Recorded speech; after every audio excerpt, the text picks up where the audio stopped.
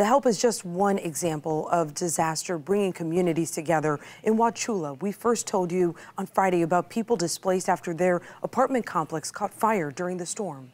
No first responders could make it out due to the conditions. Now, more than a week after the devastation, 10 Tampa Bay's Miranda Parnell explains how neighbors are leaning on one another to get through this tragedy.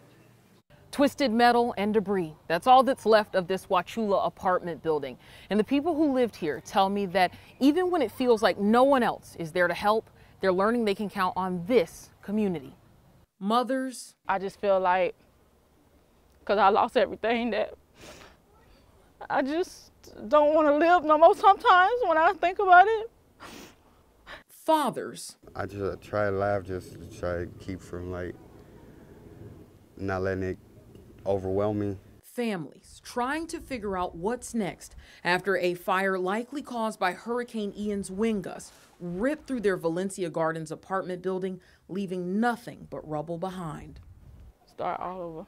And as the storm cleared, neighbors processed the loss of everything from photo albums. My mom passed last year and I had all the pictures. To beloved pets. It was actually my oldest daughter's uh, birthday that day. Like, I don't think she's ever gonna forget this. Now, as they try to find new homes in a hurry during a housing crisis, they say for them, people really don't have nowhere to go after this. Everybody's scrambling to find somewhere to live. Help has been slow to come by. That is until neighbors stepped in. We're helping each other. Neighbors from the building next to the destroyed apartments had their own smoke and water damage during the storm and our power was out for six days. We had to throw away a lot of food.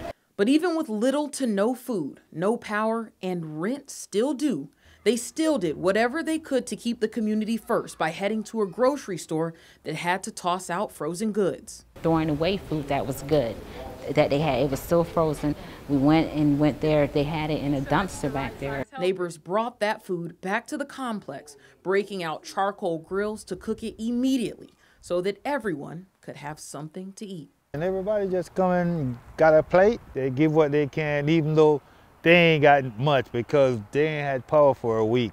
They are like my angel, I could say. In Wauchula, Miranda Parnell, 10 Tampa Bay. Tonight, FEMA is offering help to those left without a home in 19 counties across the state, activating a transitional sheltering assistance program for survivors. Eligible counties include Sarasota, Hardee, Highlands, Manatee, Hillsborough, Pinellas, and Polk. Those who have applied for disaster assistance could be eligible to stay in a hotel or motel room paid by FEMA. You can apply for this by visiting disasterassistance.gov.